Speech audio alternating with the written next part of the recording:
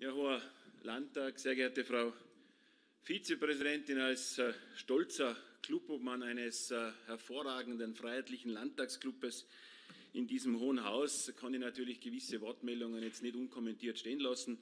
Zuallererst möchte ich meinem Landtagsabgeordneten von dieser Seite, also jetzt auch alles Gute wünschen. Der Christopher Ransmayr ist zu Hause krank, aber insbesondere was äh, die Vizepräsidentin Jicher jetzt gesagt hat, aber auch die Kollegin Hagele, möchte ich schon nicht unkommentiert lassen. Frau Vizepräsidentin Jicher, dass die Grünen jetzt die Verfassung und die verfassungsgesetzlichen Regelungen entdecken, ist schon ein bisschen erstaunlich, äh, wenn man sich vor Augen führt, dass die Bundesregierung, äh, glaube ich, und auch die Landesregierung äh, zwischen Schwarz-Grün, glaube ich, eine der Regierungen war, dessen Gesetze äh, in einem unglaublich hohen Maß wegen Verfassungswidrigkeit aufgehoben wurde in den letzten äh, beiden Jahren. Ich darf erinnern, auch im Land Tirol, äh, diese Gemeindeverordnung, wo man die eine Gemeinde nicht mehr verlassen hat dürfen im Zuge der Corona-Maßnahmen. Also das war verfassungswidrig und das hat der Verfassungsgerichtshof aufgehoben. Es ist auch erstaunlich, dass man jetzt offenbar Gesetze, bestehende Gesetze nicht mehr kritisieren darf, Frau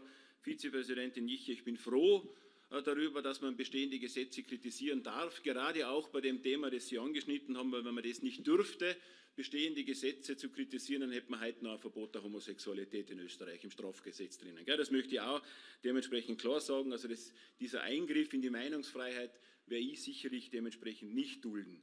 Frau Kollegin Hagele, und äh, ich habe mir das jetzt extra nochmal angehört, was Sie gestern so von sich gegeben haben, und äh, das ist schon erstaunlich. Und das ist darum erstaunlich, weil Sie äh, sinngemäß gesagt haben, also wortwörtlich war es jetzt nicht mehr, aber sinngemäß haben Sie es gesagt, äh, dass äh, das, was der Herr Kollege Walch gesagt hat, als Ersatzgemeinderat würde ihm das nicht zustehen, dass er das sagt. Das haben Sie gesagt, Frau Kollegin Hagele. Schauen Sie sich nochmal an.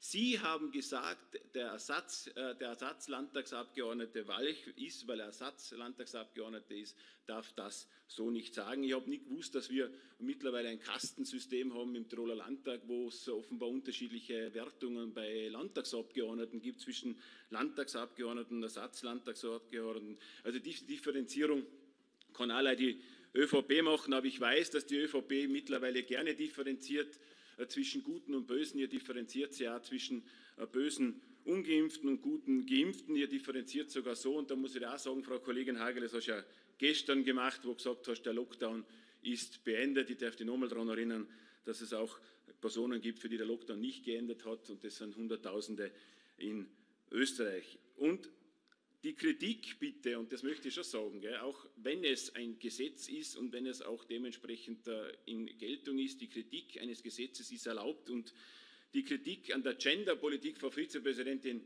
Jicher und Frau Kollegin Hagele, die Kritik an der Genderpolitik und deren Auswüchse, die darf man wohl schon kritisieren. Also wenn man das nicht mehr kritisieren darf, dann muss ich schon sagen, dann sind sie aber nicht auf der Seite der Bevölkerung, weil ich muss ehrlich sagen, äh, dass wir da anders denken, wie Sie, Frau Kollegin Hagele, und Sie, Frau Vizepräsidentin Nicher, das ist klar, aber so denken wahrscheinlich auch 90 Prozent der österreichischen Bevölkerung anders wie Sie zwar und insbesondere 90 Prozent in Ihrem eigenen Club, Frau Kollegin Hagele. Vielleicht sollten Sie sich das einmal zu denken geben. Danke.